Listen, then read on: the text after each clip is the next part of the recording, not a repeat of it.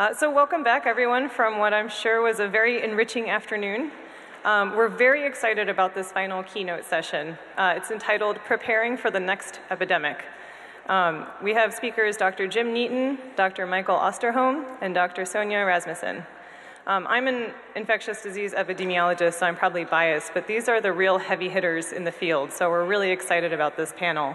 Um, these are literally the folks that CDC has on speed dial when they're trying to deal with uh, antimicrobial resistance or outbreaks of Zika and Ebola. Um, this session will be moderated by Dr. Susan Kline.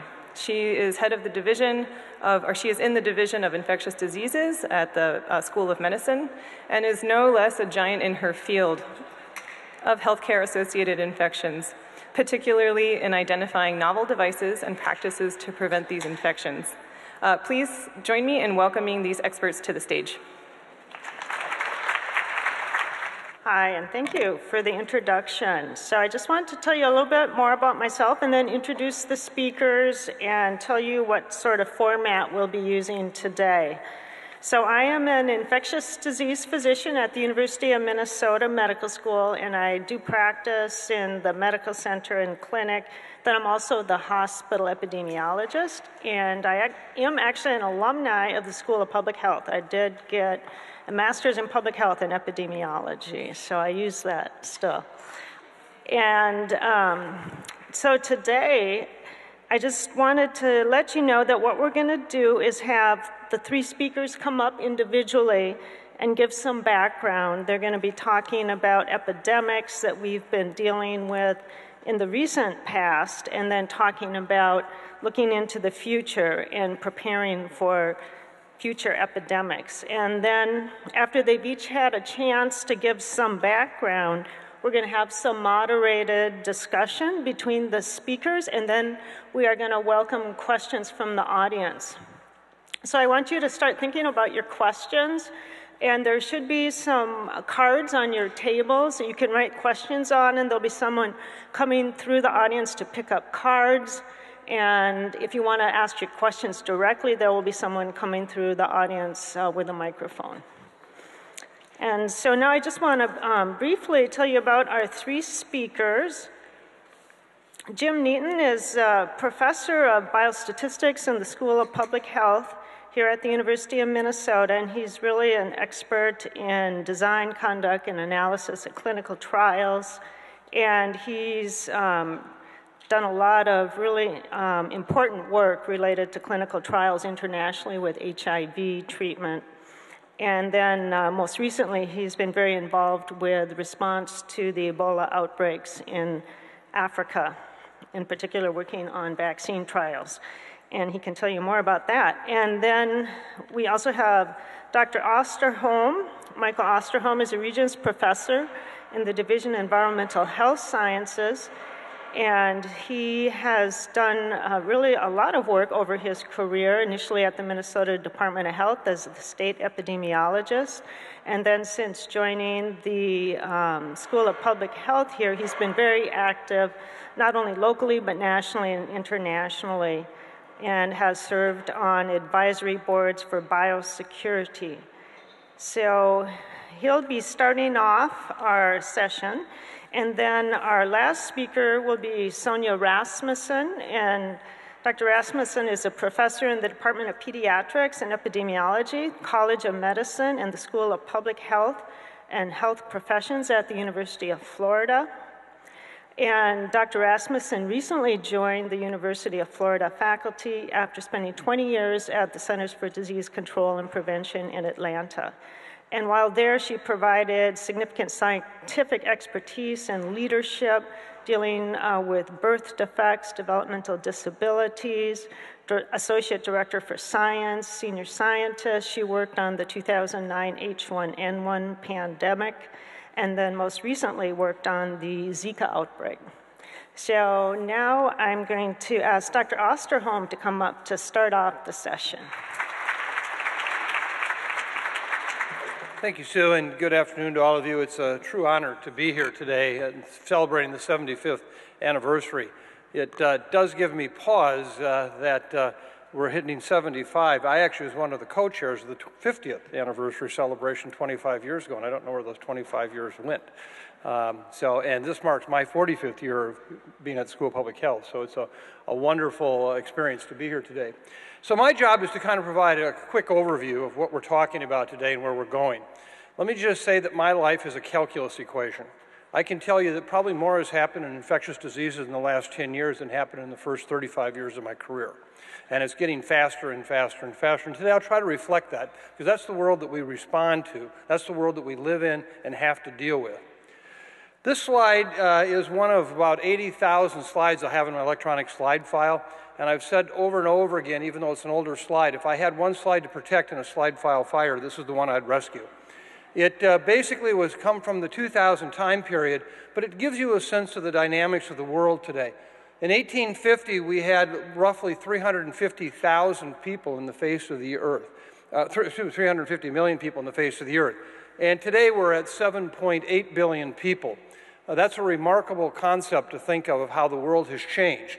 In terms of days to circumnavigate the globe, with the fast sailing vessels, we sped that up a bit uh, in the 1850s, but by 1950 with the jet engine, we changed that completely.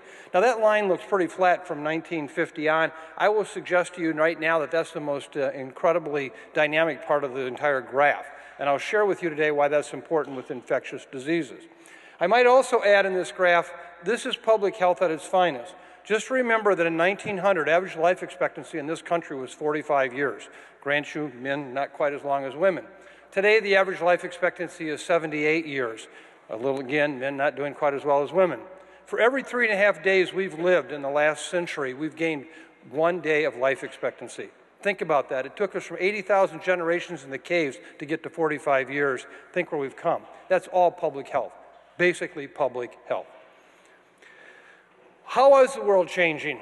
Well, this is an example, and we're going to hear about this when we talk about Ebola. But today, the fastest growing region of the world is not Asia. It's not in many parts. It's actually Central Africa. Kinshasa today, 13.8 million people.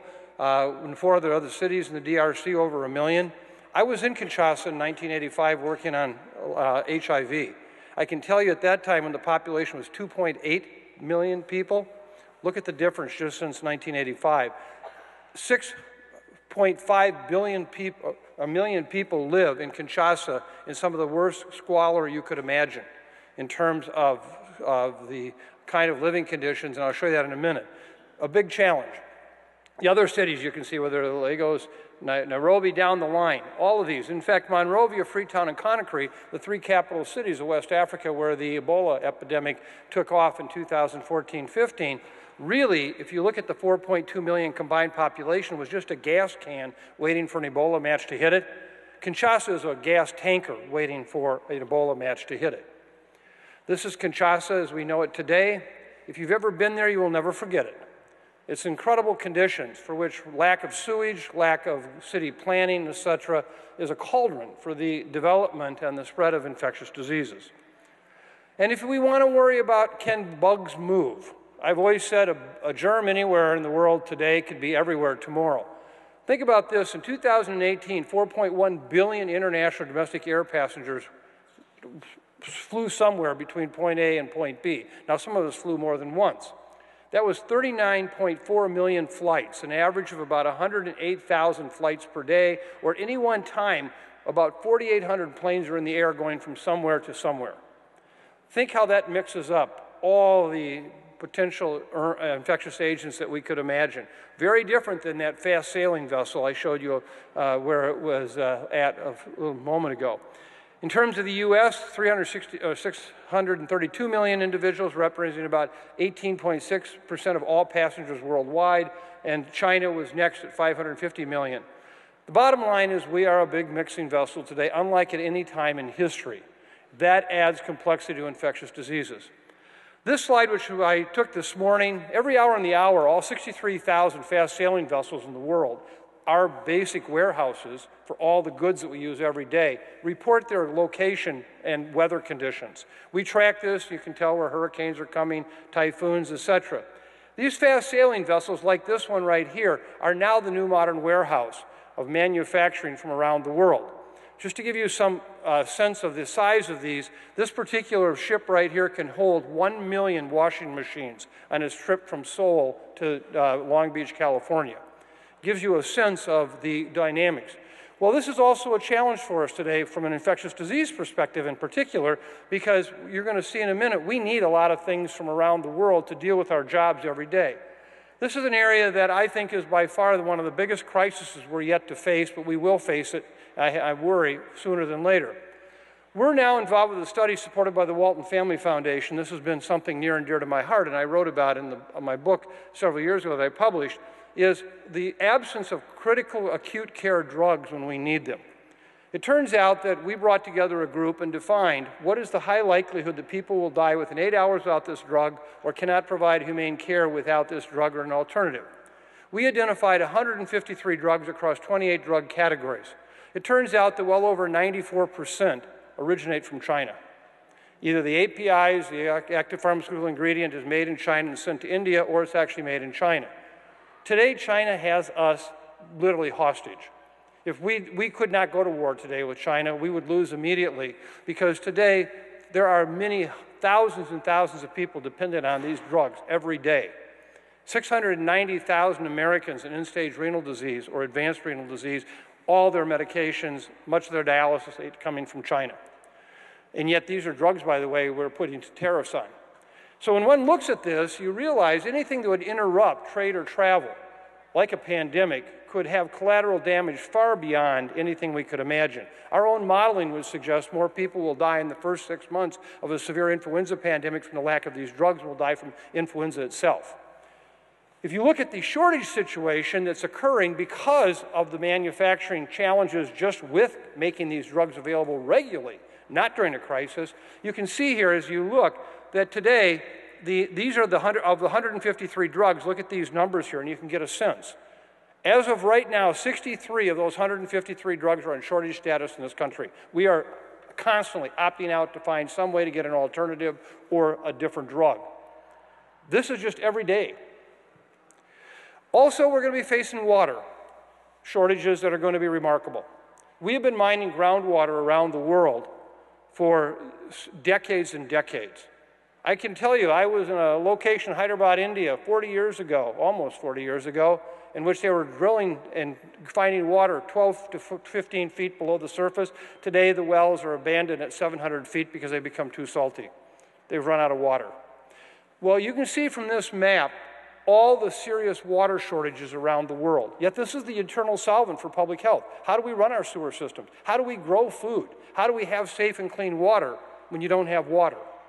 And climate change is only going to continue to influence that because the runoff is going to often be massive events due to high, high volume, short term rainfall that we're seeing already. So, this is going to be a challenge for public health. And then this one probably is the one that really is the most concerning in many ways. This is a map showing the fragile state status of 178 countries in the world. And anything here from warning on, which you see there with the yellow, is actually a country that is literally on the potential edge of destabilization or not able to govern its population. When you look at that map, just know that 75 of the 178, excuse me, 95 of the 178 countries up here right now are in warning or more severe. That's 80% of the world's population live in a government country where basically it's relatively unstable. Try to do public health in those kinds of conditions. Two years ago, I published a book, and I'm not here to try to sell it, only to say it's the framework for which I look at this. Deadliest Enemy, Our War Against Killer Germs. And frankly, it was a love letter from my perspective to my kids and grandkids. What do I have left to give them? What can we do with this world that we live in now for the future? And in that, I came up with nine priority areas. The first two really are the only two that I consider of pandemic potential, an epidemic of worldwide proportions. Influenza will come back over and over again. And antimicrobial resistance, why it's not one bug kind of situation, it is a, a, a truly a pandemic in terms of all the collective resistance we're seeing. And then we get into the diseases of critical regional importance that can have major impact in a region like Ebola, like Zika. Mosquitoes are clearly important, bioterrorism, all of these areas are ones we have to address. But let me today concentrate really on those top ones to give you a sense of the challenges we have. And I know that uh, Sonja and Jim will be following up in similar fashion with these diseases. This is an op ed piece I wrote in the New York Times several years ago saying, you know, the real threat to national security is deadly disease. Let me just say if we had a severe pandemic today and we basically couldn't bring those drugs from China here because manufacturing was shut down, transportation was shut down, this would make a war seem kind of not so bad. That's a pretty hard thought to think about. So, in fact, we have to begin looking at national security and these infectious diseases. Ask the developing world countries, the low income countries of the world that have had Ebola outbreaks, that have had severe uh, uh, cholera outbreaks, what this means to them. This is a report that was done by the World Health Organ, or uh, um, the United Nations right after the 2013-15 Ebola outbreak in West Africa, in which they basically concluded, my God, public health is really in dire straits globally. We are not well prepared to deal with many of the crises we have today. And the panel chair actually wrote the following. Following the extensive consultation, the panel notes that the high risk of major health crises is, is widely underestimated. The world's preparedness and capacity to respond is woefully insufficient. Future epidemics could far exceed the scale and devastation of the West Africa Ebola outbreak. The panel was very concerned to learn that the emergence of a highly pathogenic influenza virus, which could readily, uh, rapidly result in millions of deaths and cause major social, economic, and political disruption, is not an unlikely scenario. Well, it's not just flu. Flu is clearly the leader. I don't think we quite get the fact that as many steps as we've taken forward in public health and infectious diseases, the last 20 to 30 years, we've taken many, many steps backwards. Ebola is an example. You're going to hear more about that from our speakers uh, coming. But again, it's a wildlife disease in parts of Africa, uh, for which, when that spills over into humans, of course, we see this type of hemorrhagic disease. This was the, the 2013-15 uh, epidemic in the three Western uh, African countries that redefined Ebola. When you think about it, what happened? Well, if you can read in the third paragraph up there, it says, you know, what happened? Did the virus change? No, it didn't. Africa changed. And the urbanization of Africa, as we see the urbanization much of the world, has fundamentally changed how infectious diseases happen. What happens? In this paper that we published, our group, uh, with a number of international experts at the same time of the 2013 14 outbreak, we reviewed all the previous 24 Ebola epidemics that had occurred between 1976 and 2013. Only 2,400 cases in all those 24 outbreaks. And they were easily contained.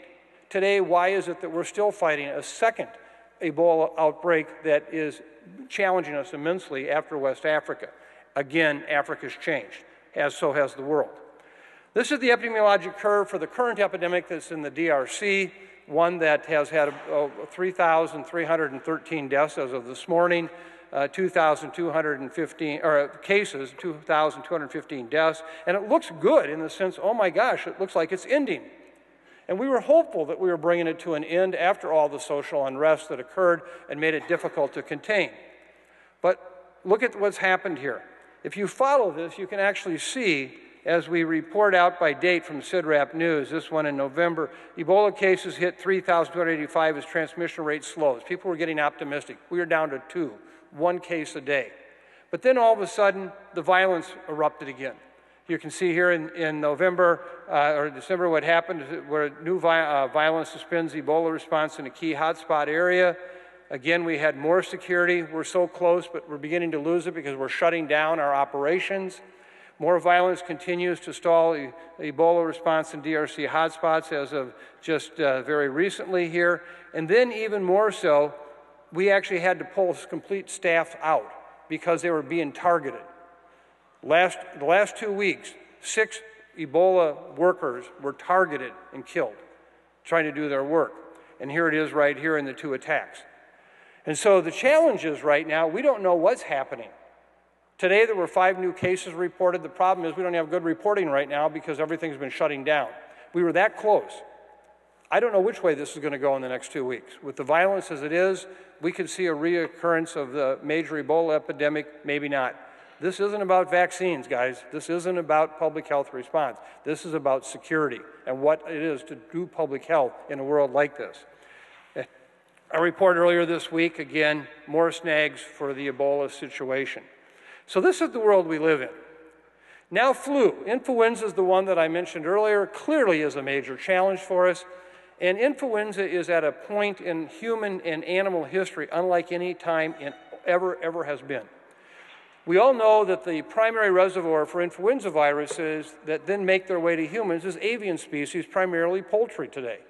And we know that when those viruses eventually change and get into a pig population where they change a little bit more, or they get into humans, that's when the likelihood for a new pandemic strain, or a strain that humans can be infected by and spread, but in fact, we don't have protection.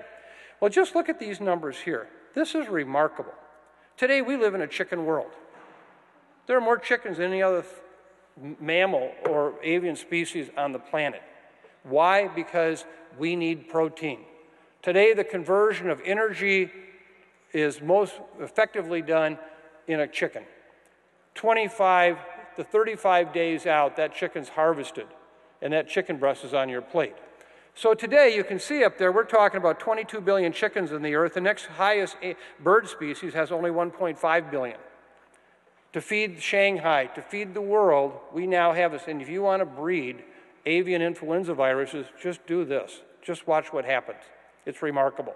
So we're sitting on the cusp of what could be one of the most dynamic periods of avian virus maturation and transmission to humans imaginable.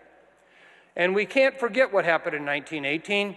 I know this is of some debate with some, it's not among many of us. Let me remind you that in 1918, just like we saw in 2009, but fortunately in a much lower level, what killed people was what killed them young and what killed them young was not bacterial infections, it was a cytokine storm. It was a condition that, frankly, we don't do a hell of a lot better today in 2020 than we did in 1918.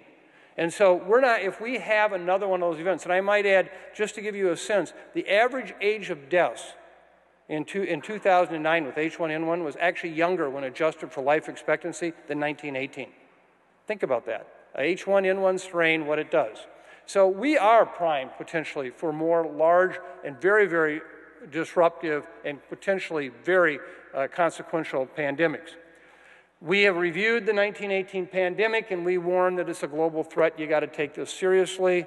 And yet, most of the world has had very little preparation for this.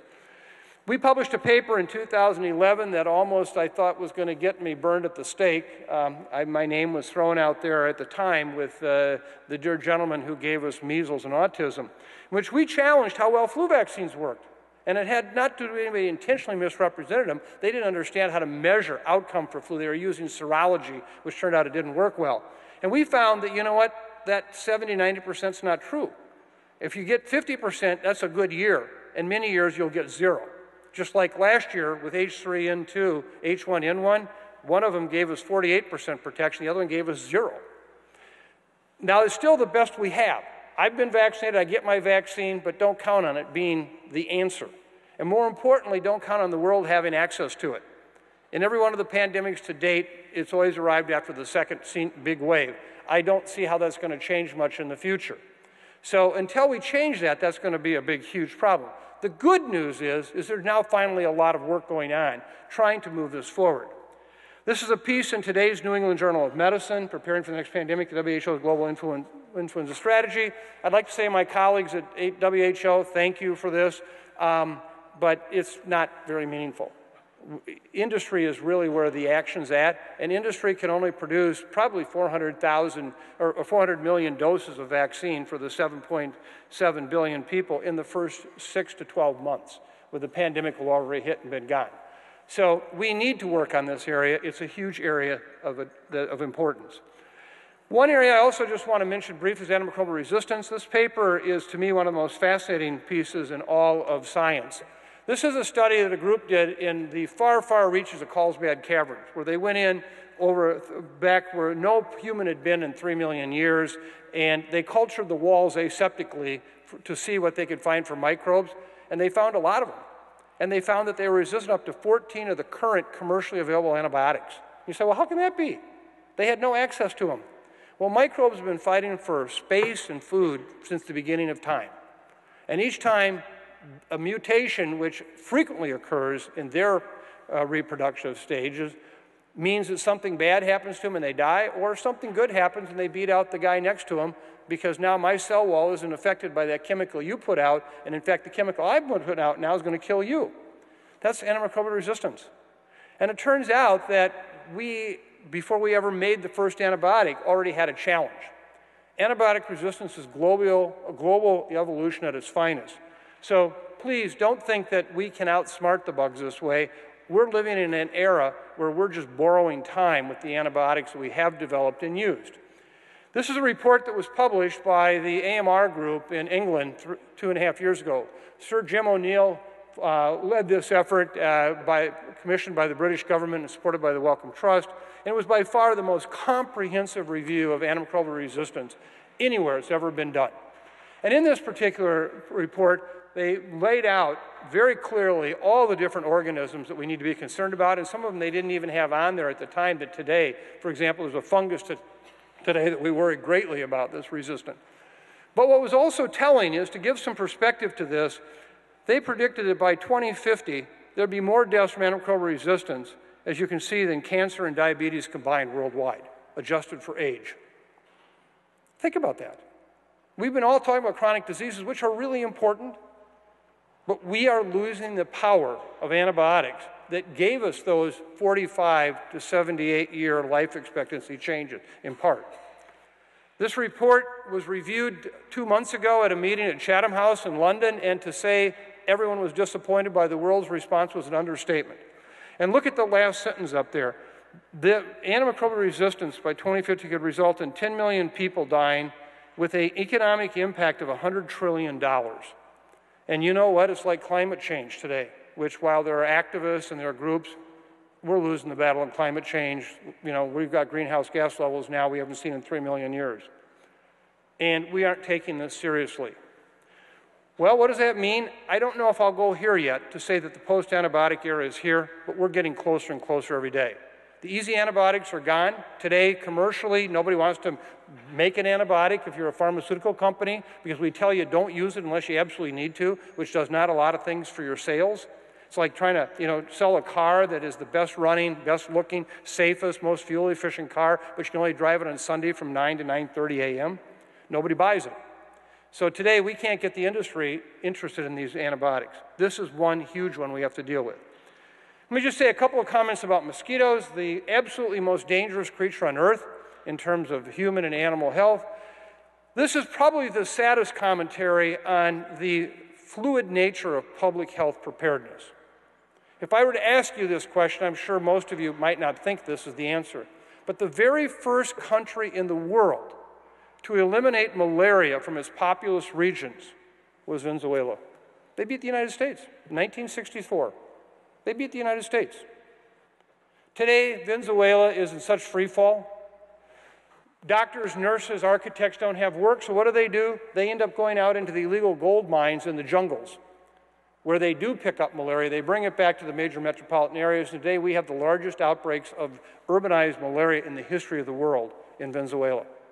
How can we go from eliminating it to now the worst in the world? That shows you the importance of maintaining public health preparedness. This is by far the most dangerous of mosquitoes, you might say, in terms of, of the number of the newer diseases we talk about. When I came into the business in 1975 at the university here, I was told by many, why the hell are you going into infectious diseases? It's the coarse and buggy stuff. Well, if you look at that map, you can see where Aedes aegypti was located in the 1930s and what PAHO and the Rockefeller Foundation had done by 1970. This is a mosquito that won't fly across a city street or an open field. It's a mosquito that's a daytime biter, bites you in the back of the neck, back of the elbow, back of the knees. You don't feel it, and it loves to live in dark, cloistered areas and little bodies of water, like what might be in a water vessel or a piece of plastic that holds a little bit of water. That's it. Look what happened. By 2015, look at where Aedes aegypti is today. And not only is it there, but it's in population levels anywhere from 100 to 500 times what it was even in the 1930s. Is this public health progress? Well, when we talk about diseases like yellow fever and dengue and Zika, chikungunya, now you start to think about what does this all mean? And it's these kinds of environments today. For the couple of you in the room old enough to remember the graduate, what did we tell Benjamin to go into? Plastics. Well, it's not the water the pigs are in, it's all that tire and plastics back there. It's the plastics on one of the most popular beaches for the Olympics several years ago. It's the plastics that are in every urbanized area and many rural areas. And that's where we have to think about, sorry, uh, think about what we're looking for for the future. Let me just close off with uh, clearly the issue of where we're going today with the whole area of vaccine hesitancy. There can be no greater, again, immediate failure that we can imagine than what's happened with measles. I grew up in a world of measles before the first measles vaccine, and what, we had kids my age die. But many of you in this room have not ever had to worry about that. Well, today, because of vaccine hesitancy, one of the top 10 priorities that WHO has launched for this year, we are now seeing major, major challenges with measles. This is the worldwide measles epidemic that, by the way, it's in the down phase right on that far right side, but no, that's a season, when it's seasonally adjusted. And when you look, we're already at over 440,000 cases of measles for this year, and by the time world reporting catches up, and we know many don't get reported, it'll be much higher. Later today, the WHO, tomorrow, Friday, their time, are going to be announcing that they have now concluded that last year alone, over 140,000 individuals in the world died from measles. Died from measles something no one should die from. And yet, look how far we've slipped back. More importantly, don't forget, and I tried to detail this in my book, what kills us versus what hurts us versus what concerns us, what scares the hell out of us is all very different many times. 2,200 people have died from Ebola over the course of this Ebola outbreak in DRC. 4,400, or now 4,500 kids have died from measles in the same area at the same time. Did you ever be dying from measles there? We all talked about Ebola, but the infrastructure doesn't exist, and so these kids were dying of measles.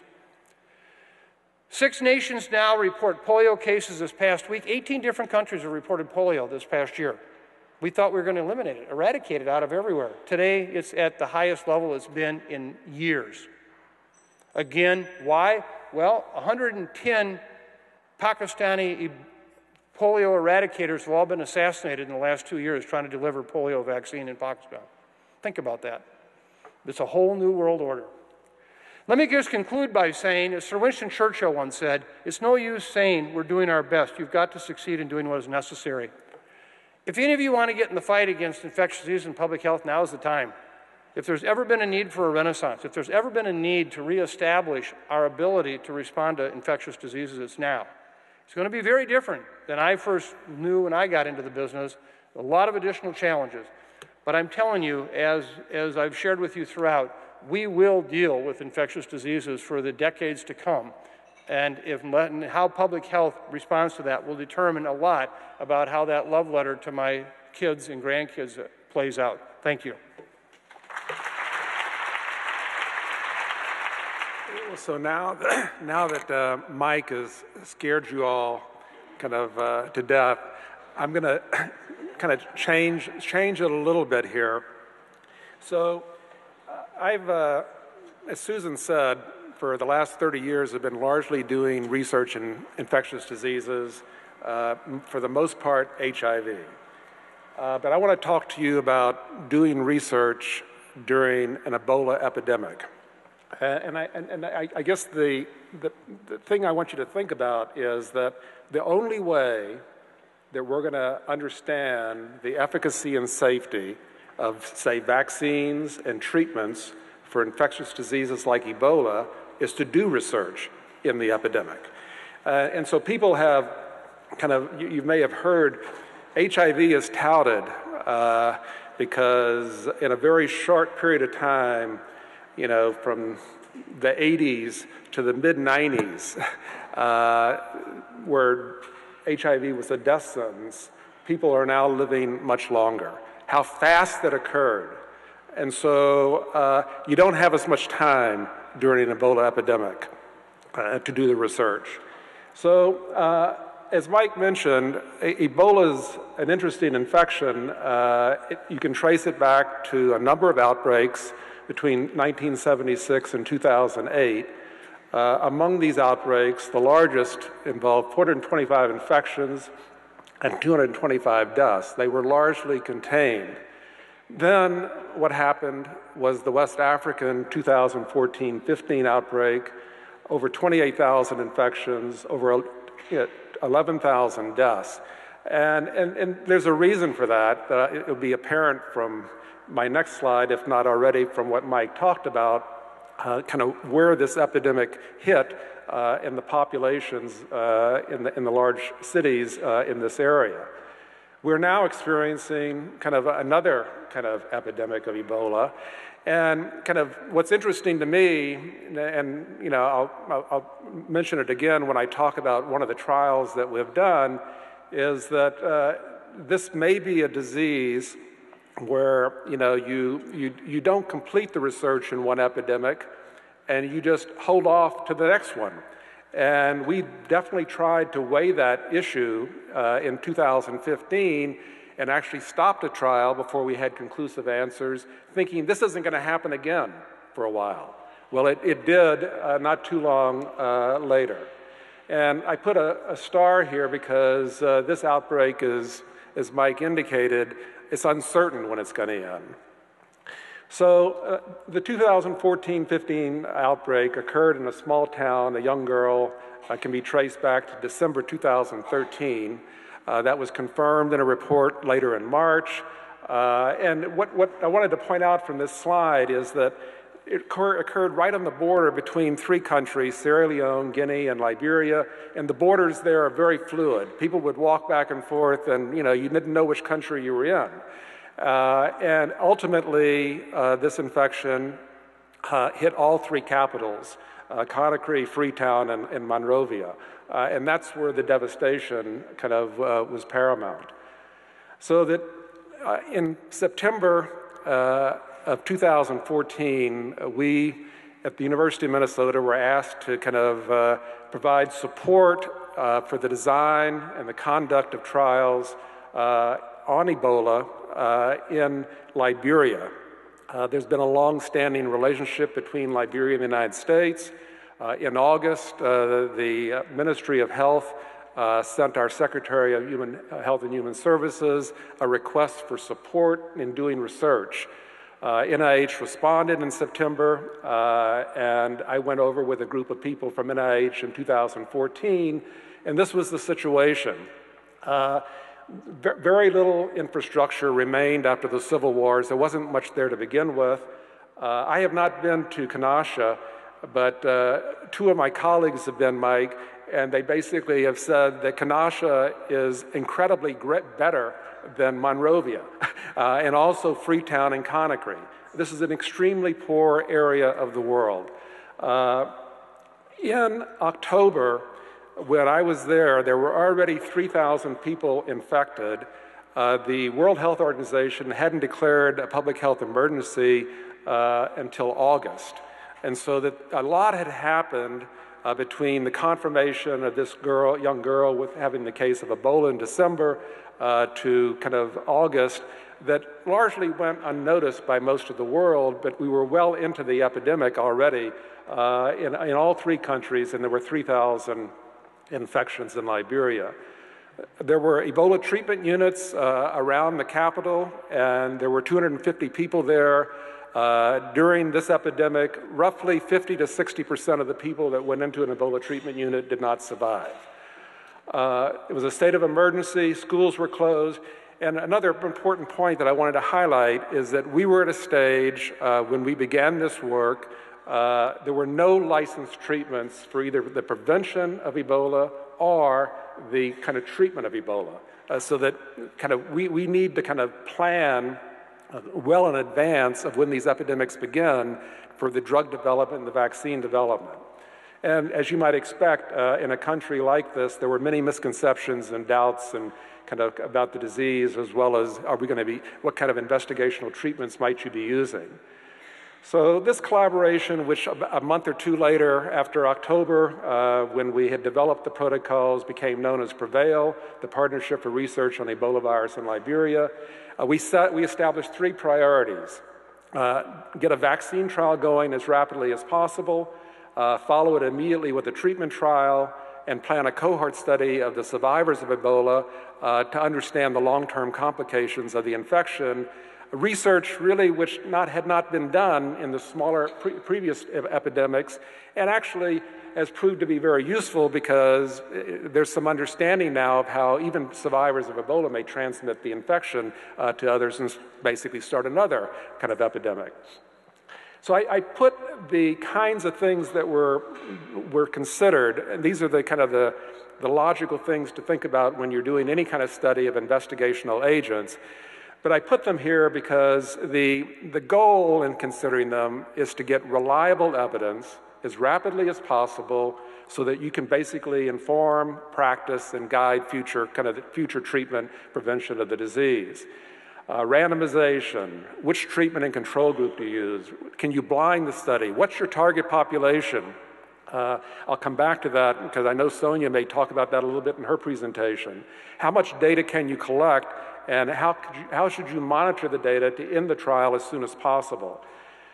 So in this epidemic, uh, there were five treatment trials. And of the five treatment trials, one was randomized. This is the one we did. Uh, there were three vaccine trials one in Sierra Leone, one in Guinea, and one in Liberia. And there was not good collaboration among the groups doing the vaccine trials. And so, and they, and they were designed differently. The vaccine trials all had an element of randomization in it, one was placebo controlled, the one I'll show you, the others were not. Uh, so the, the, vaccine trial uh, that we designed was a, a, a, phase two, three trial. I'll define that in just a moment, but it included two vaccines, one from Merck and one from GSK, without going into the long names for you, uh, versus a common placebo group. Uh, and this began on February 2nd, so I want to keep, keep that timeline in mind we met for the first time uh, near Halloween in October, and we began on February 2nd uh, a trial with two, two, experimental vaccines. There were limited safety data available. Uh, there were none from a West African population. As a matter of fact, if you read the background section of the protocol for the vaccine trial, we, we, we, we cite phase one studies which have not been completed and which have not even been unblinded. So we, we knew there were no serious adverse events among the 24 patients in the phase one trial, but we didn't know in terms of the uh, immunogenicity data uh, what the results were by treatment group or how the adverse events kind of that were of lesser severity varied by treatment group. We decided uh, after a lot of discussion, uh, in, in, when you look at eligibility criteria, it's a, it, in, in, large part, it's a, it's, it's, a, it's a balancing of risk versus benefit. So here the risk, even though in the middle of an epidemic of acquiring Ebola, was relatively low. Uh, and for that reason, because of the absence of, uh, uh of uh, safety data, uh, except in adults largely seen in the US and in Europe, we, we restricted the trial to adults, uh, men and women, but not children and women who were pregnant or, or were breastfeeding. Uh, this was a, a, a long discussion uh, about this, and one that we still have about doing vaccine trials, which you may hear more from Sonja in her presentation. Now, on the other hand, when we designed the, the treatment trial, uh, there, there was no licensed therapy, and rather than placebo or doing it blinded, we basically defined the control group as optimized standard of care. And the, the, major reason for that was that this was an injectable drug called ZMapp, and the injection itself put staff, clinical staff at risk uh, in kind of in tr- taking care of people with Ebola, which is transmitted through you know, bodily fluids. Again, there was very limited safety data, uh, uh, kind of human safety data uh, on this vaccine. There was anecdotal information from eight patients who had been treated by compassionate use. There was a phase one study that had just been ongoing, but, and there was a limited supply of the drug.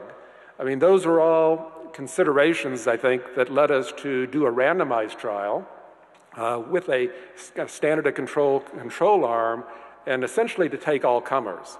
Uh, the, so we, in this trial, the risk benefit clearly, because the death rate was 50 to 60 percent, clearly favored putting everybody in, even though the data was not there for children or for pregnant women or other kind of individuals uh, that, that, that, potentially were at higher risk. And so uh, all, all, the, the participants, all, all the potentially eligible participants with Ebola were, were eligible for randomization. This trial uh, because of a, a, waning epidemic in Liberia, got moved to Sierra Leone and, and, and, and Guinea. Uh, but I just want to point out this, this, the trial protocol was actually open in the United States. The very first patient randomized was in the United States, uh, and the second one was in Liberia, where it, we began the trial. So these were kind of uh, design issues which I think su- went surprisingly well to, to, in, in, our discussions with people at the Ministry of Health uh, in Liberia. Uh, in other settings, uh, and you may have read about it, uh, absolutely no randomization, absolutely no placebo.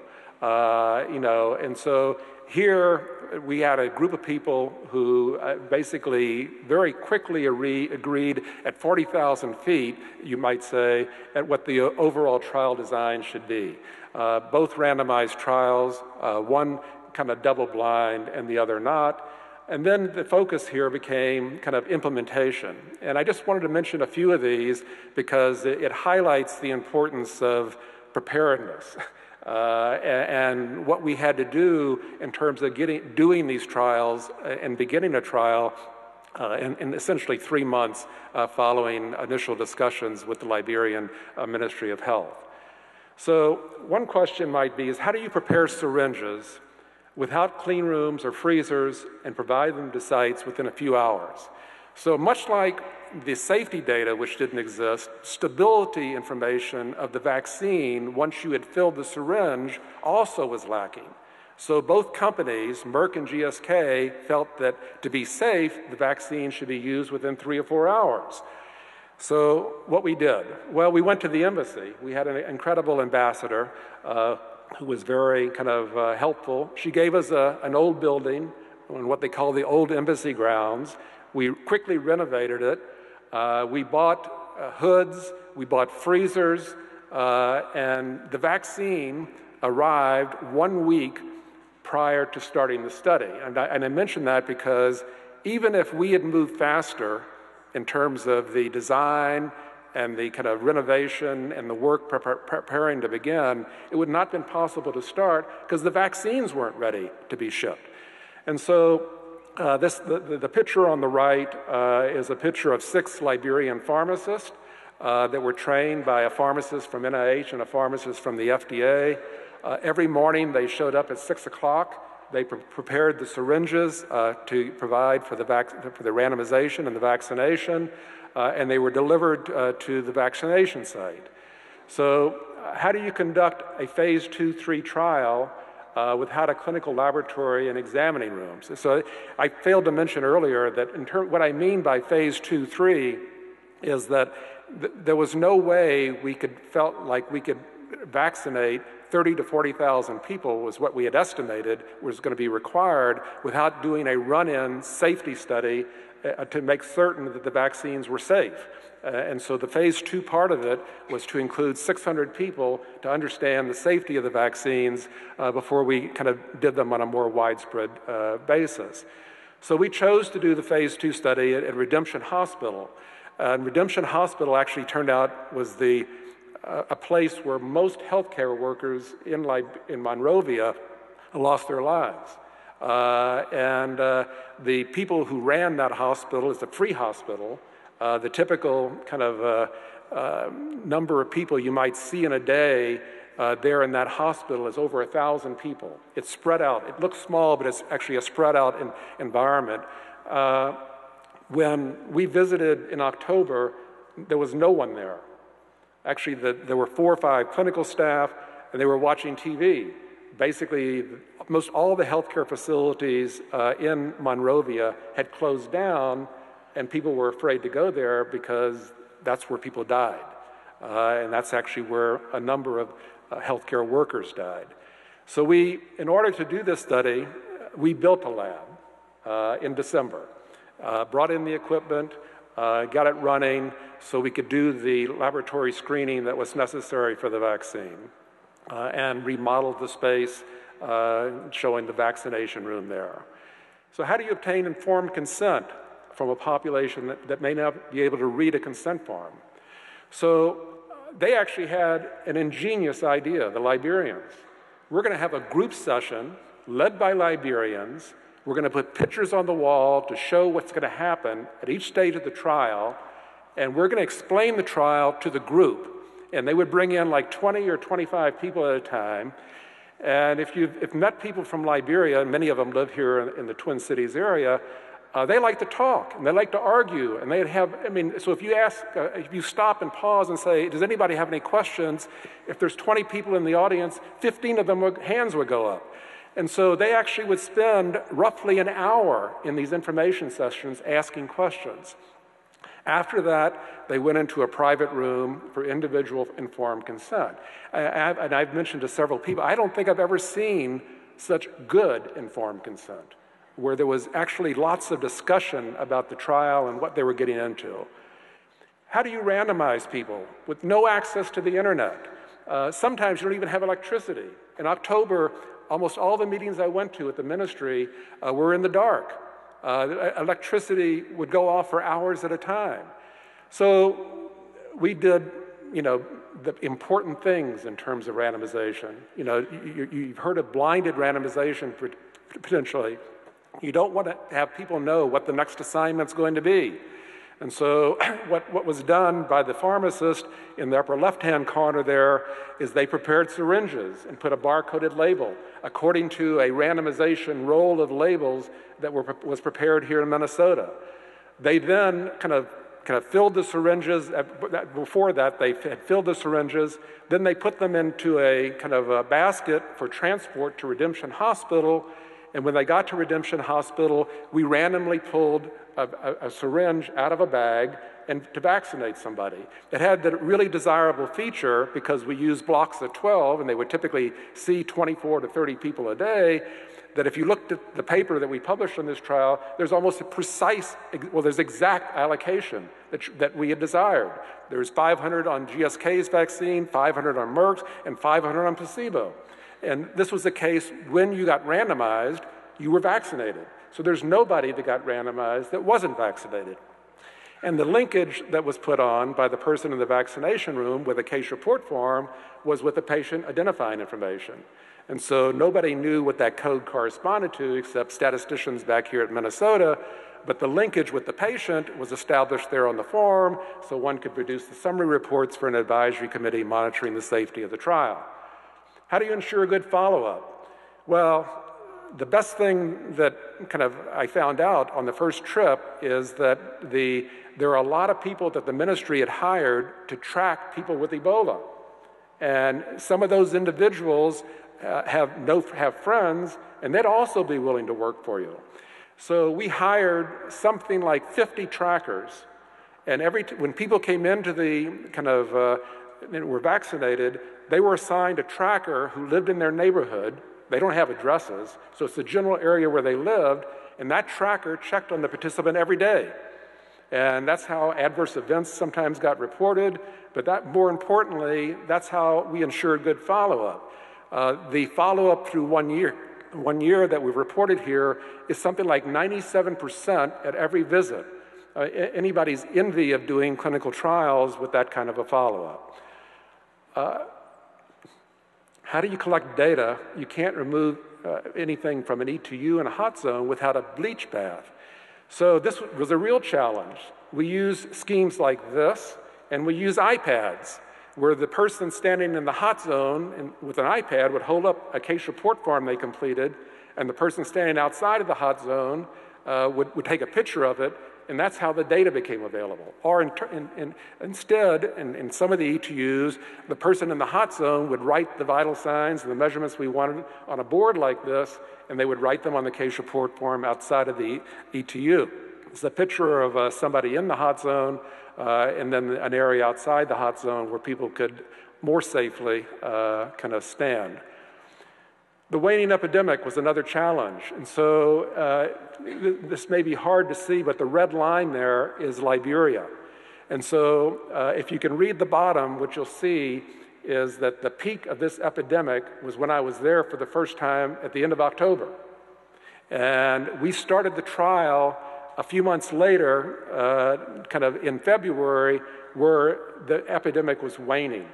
And Liberia was the first country where the epidemic essentially was, the country was declared Ebola free before Sierra Leone and Guinea. And so I, show this because we can't, even if we do this kind of research in the middle of epidemics, we can't wait to do all this kind of when the epidemic is at its peak. We need to be starting this kind of, the research needs to begin earlier, and the vaccine development, as I mentioned, the treatment development needs to be begun much, much earlier yet. Oops, sorry. So, following, uh, to end here, the following uh, these, uh, this epidemic, the National Academy of Science wrote a report, uh, which I think is actually worth reading. Uh, they made the following recommendations, and I, I don't want to take the time to go through them all, but, but three of them or four of them here I may just touch on briefly. One is to develop a sustainable health system. So we need something with research capacity that, so that you're not developing it when you go in there. Uh, resources for data collection and sharing need to kind of be established from the outset. Uh, actually, even today, unfortunately, it's easier to send specimens uh, from Mali, for example, that's participating in a vaccine trial we're doing, to United States than it is to send from Mali to Liberia. It takes longer uh, because of regulatory issues as well as uh, kind of country kind of uh, requirements uh, uh, that, that, are, that, that needs to happen before you can do these things. Uh, incorporation of research in the national health systems and the coordination of international efforts in research. As I mentioned, I don't think we were very well coordinated during 2014 to 2015. Uh, and you know, you, I don't think anybody's at fault for that. I think everybody rushed in at the last minute and did the best they could, uh, but we need to learn from that experience. So let me just tell you about the setting in, in, in, in Liberia in October 2009. And so multiple hospitals and clinics remodeled, and so there's a there's a infrastructure building, including an imaging center, that's being left there. There's a new public health institute which has been established to kind of oversee some of the local research on infectious diseases and other conditions. We've been training statisticians and data management people here at the University of Minnesota. There's one statistician in Liberia that's been working with us. That, that is the only person we know really that's trained as a biostatistician with a master's degree in that entire country. More training is desperately needed. Eight protocols have been developed, uh, and the protocols now have expanded beyond Ebola uh, to also look at HIV and malaria. So they're building within these protocols uh, the, the, understanding of how to do research. And lastly, uh, re- related to the international coordination, uh, a West African partnership, a study called PREVAC, uh, a vaccine trial that ends enrollment uh, uh, and follow up for the first year this month, actually.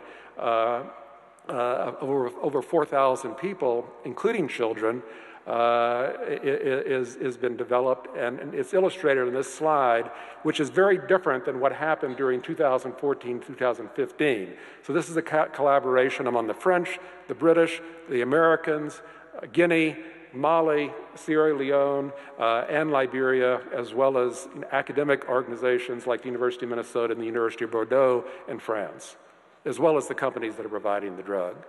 So, in conclusion, here, I just want to say that you know, I think we've established that you can do scientifically rigorous and ethically sound research uh, in these resource poor limited settings.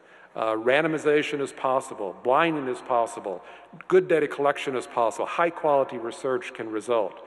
I think this is further illustrated with the recent publication last week of the treatment trial in the DRC, a comparison of four treatments for Ebola, which built on the findings from the study that was somewhat inconclusive that we did uh, during the 2014-15 epidemic, but now we have two treatments uh, for Ebola uh, that uh, appear to be very good.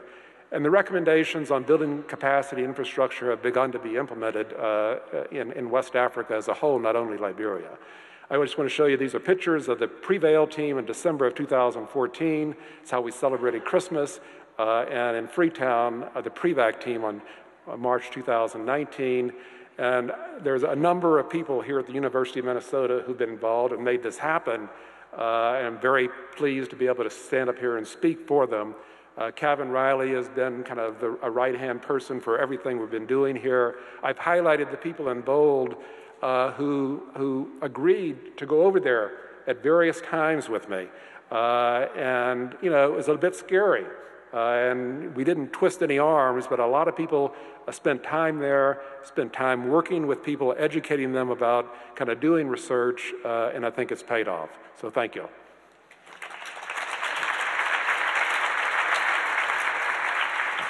Uh, thank you for the opportunity to be here today. It's been a really fantastic day. The whole meeting's been wonderful. I really enjoyed this morning, and I'm going to be a healthier eater soon. So, so um, I'm going to talk a little bit about making the case that there are certain populations we all need prepare for a future pandemic, for future epidemics.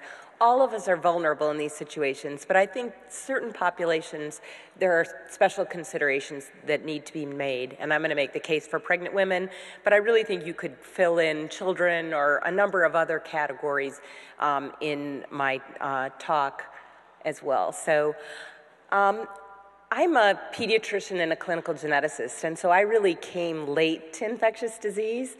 Um, I was really sitting at CDC doing studies trying to understand causes of birth defects and really looking at medications and does obesity cause birth defects? Does do SSRIs cause birth defects? I was doing studies like that when this paper was published in the MMWR. Um, it was reporting a case, a woman who had had West Nile virus during her second trimester of pregnancy. And this is at the time that West Nile virus was really spreading across the country. And what we saw was there was a baby born that had really significant birth defects. Um, uh, severe problems with the brain and with the eyes, exactly what you would expect from what we know of other infectious diseases that cause birth defects, from CMV, toxoplasmosis, et cetera. And so I started getting interested in what happens to women when they have infections during pregnancy and do their babies have birth defects. And I started really doing a lot of reading and a lot of writing. I worked with the colleagues at CDC to study West Nile, so you can see that there's a couple of papers there about West Nile virus. I started working with um, my favorite uh, co author, Denise Jamieson. She's an OBGYN and I'm a pediatrician, so we made a good team. We published several papers on emerging infections and pregnancy in general. And then we, we had kind of a theme, and we do measles in pregnancy, LCMV in pregnancy. We went through a long list, and it, it was a, um, really fun um, way to study infectious disease. I learned about a lot of infectious diseases really quickly. And I want to point out the paper um, that uh, one of my colleagues, Ned Hayes, and I wrote um, in 2005. And we were looking at what are the challenges to um, emerging effects and infections among pregnant women. And these are the things that we came up with. And I'm going to go through some of these in uh, some of the responses that I later worked on at CDC. Because once I caught the bug of working on these responses, I wanted to work on them a lot. So um, First of all, pregnant women might be more susceptible to infection or might have an increased risk of dying, getting really sick or dying. And we certainly knew that that was true um, for some infections. And we know that women, when you get pregnant, your immune system has to change. Otherwise, you can't tolerate that uh, fetus that has antigens from the dad on it. The only way to tolerate it is to change your immune system, and that makes you more susceptible to certain infections. Um, emerging infections in women could cause adverse effects in the embryo or fetus, even when a maternal uh, infection is mild or asymptomatic. We knew that from, for example, rubella, that women can have a relatively mild infection, or CMV. You can really be basically asymptomatic, but your baby can have pretty severe effects. Prophylaxis and treatment of emerging infections may be contraindicated in pregnant women. Um, and the effects of the emerging infection on the embryo or fetus are often unknown are difficult to predict and can present long time after birth. And certainly we knew that from CMV again, that sometimes a baby can look totally normal at birth and several months later can present with hearing loss or developmental disabilities. And of course, now we're seeing that now with Zika too. And then diagnosis of emerging infections in the embryo, fetus, or infant is often difficult, and certainly um, it depends on getting the right specimens at the right time, and we certainly learned that later about Zika. So I just want to bring you back to this time in 2005. Um, this was a, um, a, speech that George W. Bush uh, gave at the NIH. It is vital that our nation discuss and address the threat of pandemic flu now. There is no pandemic flu in our country or in the world at this time, but if we wait for a pandemic to appear, it will be too late to prepare. And one day, many lives could be needlessly lost because we failed to act today. And um, here you can see um, from CIDRAP, um, Bush asks for 7.1 billion to prepare for the flu pandemic. Because of that, there was a lot of interest in pandemic flu in the country and at CDC. And I started thinking, what's going to happen with pregnant women when there's a, a flu outbreak? So, um, just to go through why was there a lot of concern? Why had there beca- become concern from uh, President Bush and from others? What happens when there's a pandemic? You have to have a new virus that the population is immunologically basically naive to. The virus has to cause serious illness. If, it, if it's not that serious of an illness, it doesn't really matter. And then it has to spread easily to, from person to person.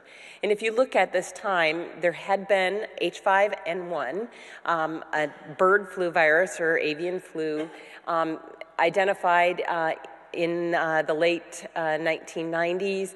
And then you can see in 2005 there was probable person to person transmission of that H5N1. And so there was a lot of concern for preparing for that H5N1 to eventually develop the ability to spread easily from person to person and to come to the United States. Little did we know it was actually going to be something from uh, California and Mexico instead. So, also, and you heard about this from Dr. Osterholm, um, we hadn't had a pandemic in a while. So, I think people felt like we were overdue. Of course, there's the 1918 pandemic that you heard about the effects that it had on the mortality rate, 1957 and 1968. So we started talking, and I talked with my friend um, Denise Jamieson and Joe Bresee. Um, Joe is an expert on flu, Denise is an OB- OBGYN, and we started writing this paper, and we published it in January 2008. Really, we didn't give any answers to these issues, we brought up a lot of concerns that pregnant women would get sicker. We knew from previous pandemics and we knew from um, seasonal flu that pregnant women got more sick when they got flu. They were more likely to be hospitalized. We also knew from um, that that women are don't want to be injecting this. They don't want to get a flu vaccine during pregnancy. You know, when you're pregnant, you're not even supposed to take a Tylenol. You know, why would I get a flu vaccine? Even though flu vaccine had been recommended for many, many years for pregnant women. Only about 25% of women were getting it at, at that time. And we were worried that, you know, as you heard, the, flu, the vaccine doesn't become available right away. Um, once it becomes available, you want women to get it because they're at high risk. The other thing is that we knew very little about Tamiflu at that time. We knew very little about oseltamivir, um, about how it affected pregnant women. And so we raised these issues, um, we published it, and then people started saying, well, what are you going to do about it? And um, I said, let's have a meeting. So um, we um, did, those are the issues we brought up. We had this meeting, and the meeting was held in April of 2008. And I think this really ended up being, you know, it was exactly a year before the pandemic really hit, but it was actually a very helpful meeting, and that we brought experts. We brought in about 50 experts. I had had gotten people to give me money from across CDC to have this meeting. We brought in about 50 experts, but we also brought in key partners. And I think when I think of the, the um, other responses that I've been involved in, the fact that we had had people from the American College of Obstetricians and Gynecologists, we'd had people from the American Academy of Pediatrics, we'd had several representatives from state health departments there. They had already given us input into our plans, into what we were talking about, and sometimes we weren't sure what the right thing. Should we say Tamiflu, give Tamiflu to pregnant women or not? Should we give it first, second, and third trimester, or is, is it higher risk second and third trimester? So we discussed all these things with those other people in the room, the people that were going to be necessary for implementing the project later on or the, the um, response later on. So um, I began very quickly writing this paper up after the meeting got done, and unfortunately, it got kind of stuck. Any of you that have been part of a special issue, um, it was part of a special issue. The special issue always is stuck till the very last person finishes their paper, and I got the galley proofs from that paper the same week that the um, that the, this paper appeared in the MMWR. The two cases were seen in California. And so you could say, well, that's a little late, but the good news is American Journal of Public Health agreed immediately to place it online. They placed the um, paper online, and we did have those recommendations ready. So we weren't sitting there at the time the, the response started, after those cases were out there, we weren't sitting there saying, well, should we, should we say Tamiflu, yes or no? We already knew what we were going to say. So um, just bring you back. Then this was my first experience in the CDC Emergency Operations Center. This is where you go when there's a big response at CDC, and um, I've now spent a lot of time there between um, several different responses.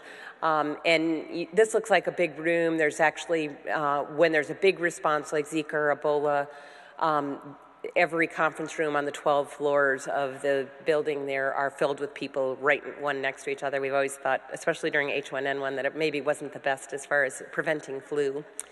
So, um, so these first two cases were identified on April 15th and 17th, and, and they weren't kids that were particularly sick, and they were actually identified um, as part of a CDC study. And um, here you can see April 15th, April 17th, oh gosh, a lot already more, right? There's cases now in Texas on April 24th and cases in Mexico. And then April 28th, just four days later. So this very quickly spread across the United States and across the world.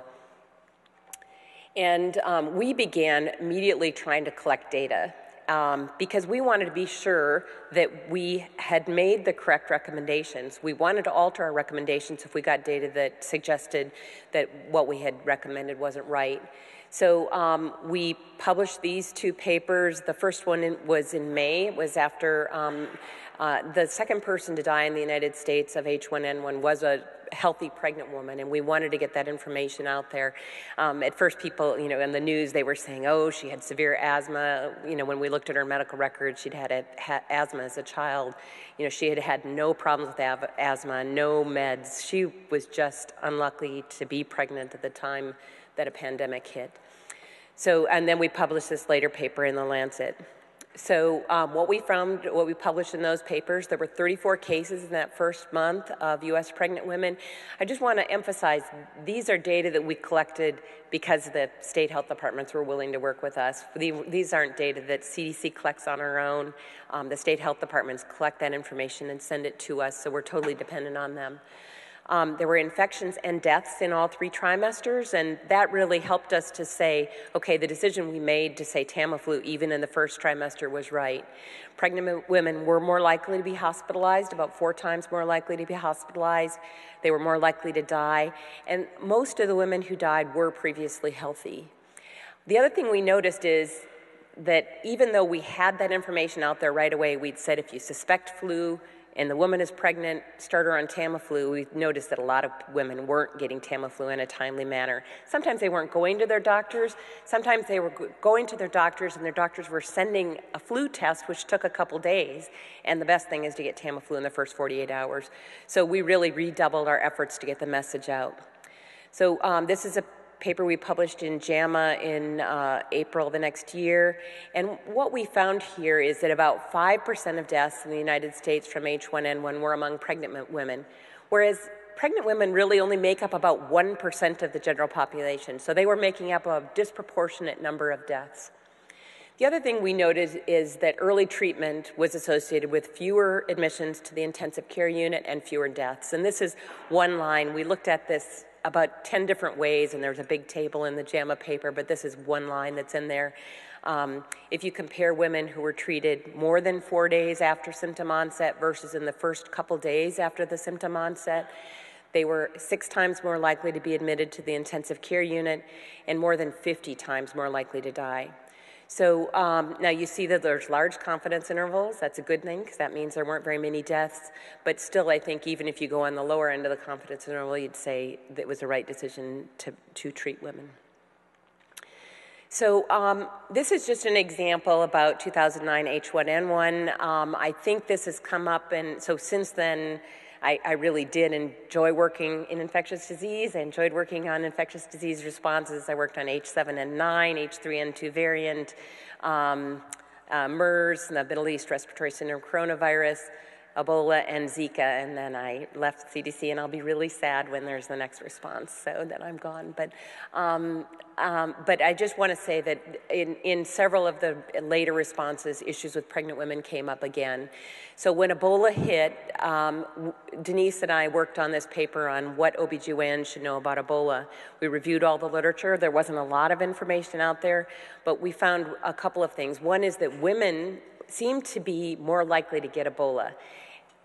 Is it because women are more likely to be caretakers? Is there some difference in susceptibility, um, really a, basically a physical thing? We think it's probably more likely that they're more likely to be caretakers. But we found women were more likely to um, get Ebola, and then it did appear that pregnant women had severe effects from Ebola. What we noticed even more is women who were pregnant who had Ebola, their babies had a very low chance of survival. So it was really like um, almost all babies uh, had died whose moms had had Ebola. Again, is that because they don't have a mom to take care of them anymore and they have had Ebola and so people are afraid to take care of them? I'm not sure, but we knew that they had a very um, low rate of survival. So that's in the 2014 response. You've heard about the 2018 response. We, um, uh, Denise and I were both gone from CDC by this time, but we really felt like it was an opportunity. Um, we had learned a lot about Ebola in, uh, in 2014, but not much about it in pregnant women. And we, in this paper, emphasized the importance of trying to get more information about pregnant women. And we felt like um, that, that the vaccine should be offered to pregnant women. And then the last paper is actually a stat first opinion um, that we wrote um, when the decision was made that uh, Ebola vaccine could be given in the second and third trimester, but not in the first. We felt like women should be offered the opportunity, given informed consent, of course, um, to get the Ebola vaccine given the high risk of death and the high risk, especially, of their baby dying. Um, uh, so. Uh, you can see that pregnant women issues come up in, uh, they came up in the Ebola response too. And then, of course, in Zika, um, none of us would care about Zika if it weren't the, for the effects on pregnant women. Um, Zika had been around for a long time. Nobody really cared. It was an itchy, rashy illness, but um, it really wasn't until the recognition of babies with microcephaly. And um, I know it seems really obvious now that Zika causes birth defects, but at the time we wrote this paper, there was a lot of um, uh, people saying that it was vaccines, you know, it's always vaccines, right? Um, that it was um, the mosquito treatments, that it was a mosquito spray that had been used. There was a lot of discussion. And in, this is a paper where we tried to carefully lay out the evidence in support that Zika was a um, cause of birth defects. And then this final paper down here is a paper where we um, described the uh, congenital Zika syndrome. So um, I hope I've made the case that in planning for future epidemics, certain populations need special consideration, and I think pregnant women is one of those populations. It's certainly not the only one.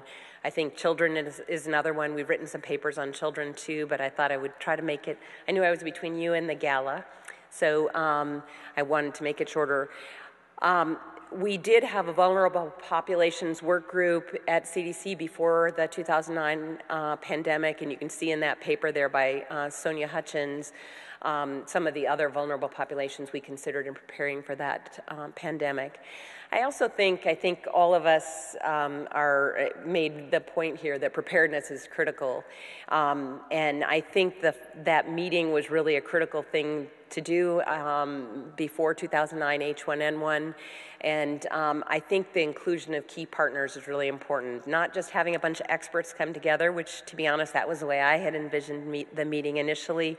And it was really um, a, uh, input from my team that said, we need to include these partners. And I think that was really critical when the 2009 H1N1 response started. So I think we're all going to come up and answer questions up here. Thanks.